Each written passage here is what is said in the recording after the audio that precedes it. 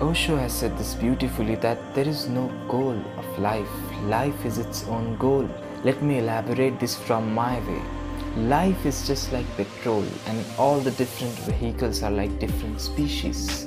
The petrol just wanted to travel, and when it traveled through a vehicle, it liked the travel so much that it manufactured, multiplied, and modified million types of vehicles and is still doing just to enjoy the traveling in different forms and styles. And also just in case if any vehicle gets destroyed the travel should not stop.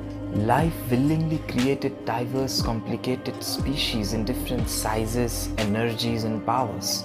It willingly gave feathers to one species, high muscular power to another, small size to another, and also reasoning to us just to enjoy the travel in different different forms and ways and also to get itself free from the risk of stoppage